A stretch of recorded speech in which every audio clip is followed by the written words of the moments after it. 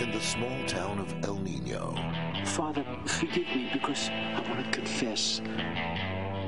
I did kill my wife. A butcher has committed a crime. Hurry up, Pinky. If a car comes along, they'll suspect something. A cop is looking for a little payback. I want some answers. you know, for the life of me, I'll never figure out why she married you. He just likes my meat.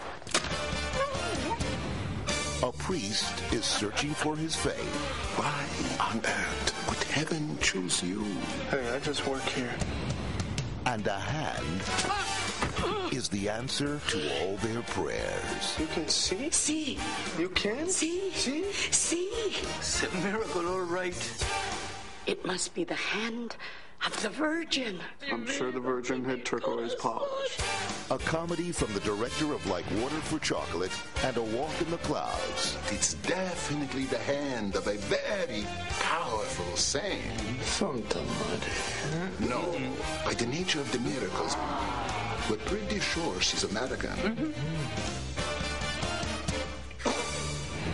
got a major franchise here. What? Uh, would you like a miracle with your fries kind of franchise? Sweetheart, they think you're a virgin. Yeah, can you believe that? Hey, you funny guy. That man is a butcher. Well, that's, that's an honorable profession. No, I mean what he did to her. Free Freedom! I'm giving this man sanctuary.